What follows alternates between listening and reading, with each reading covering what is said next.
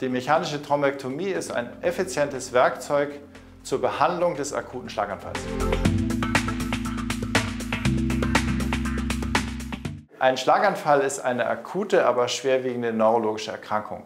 Die entsteht, indem irgendwo im Körper, häufig im Herzen, manchmal auch woanders im Körper, sich ein Blutgerinnsel löst und als Fropf dann mit dem Blutstrom ins Gehirn geschwemmt wird.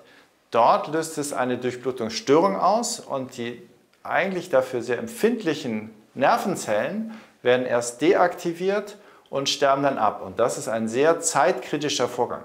Das heißt, Schlaganfall ist immer ein Notfall. Bei der akuten Erkrankung Schlaganfall, wenn es eine schwere Erkrankungsform ist, ist es manchmal nicht ausreichend, nur das stark wirkende Medikament, die Thrombolyse, zu geben, sondern es kann erforderlich sein, und das muss man unter Kollegen dann besprechen, eine sogenannte mechanische Thrombektomie zu machen. Das ist ein katheterbasiertes Verfahren, was von der Leiste aus oder vom Arm aus gemacht wird, was spezialisierten Experten natürlich ähm, äh, vorbehalten ist die aber relativ schnell in das betroffene Hirngefäß dann sondieren und mit einem speziellen Fangkörbchen den, den Thrombus, also die, das eigentliche Blutgerinnsel, was die Hirndurchblutung stört, dann greifen und herausziehen. Das ist die eigentliche mechanische Thrombektomie.